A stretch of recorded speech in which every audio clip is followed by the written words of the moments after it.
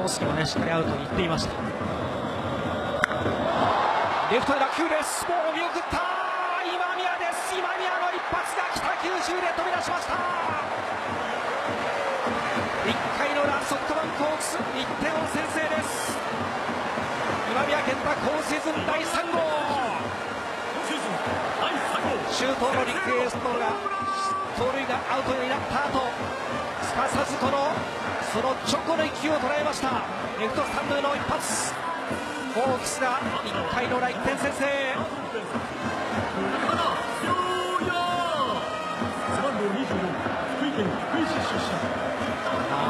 ンナーがいなくなったからこそ、えバッター栗原はおっとファースト。追いつけません。ライト前ヒット。初球から行きました栗原。ワンアウトランナー一低め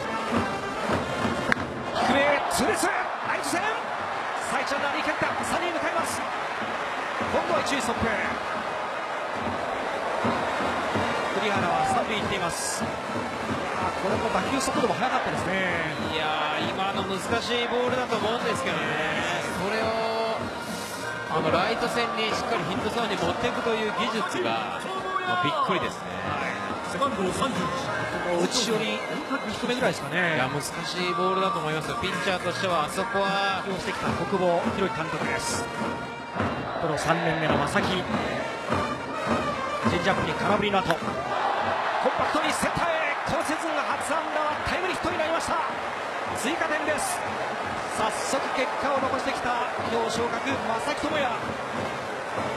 大きな追加点1回の裏ホークスが2点目です。ちょっと嬉しいですね。やっぱりこう2軍でねもう見てる選手がこう苦しんでる中ね1軍に上がってきてこう北九州男が登場ですね。そうですね。初球からいきます。ライト方向。ポール方向上がっている。上がっている。上がってフェンスに当たった。北九州男が早速のタイムリーです。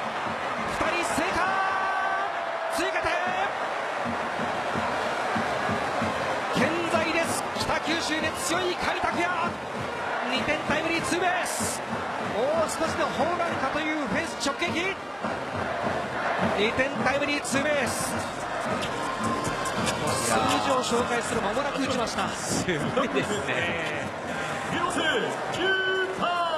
こんなにもずっといいもんですかね、トータル10、まあ、今日入れて12試合33打数の14安打と もう4割以上打ってます。でホームランも4本打ってるというねこのありますもんね、えちょうどあの1試合2発というのも数年前あったんですがちょうどあの時はあのあのポールのねところ当たって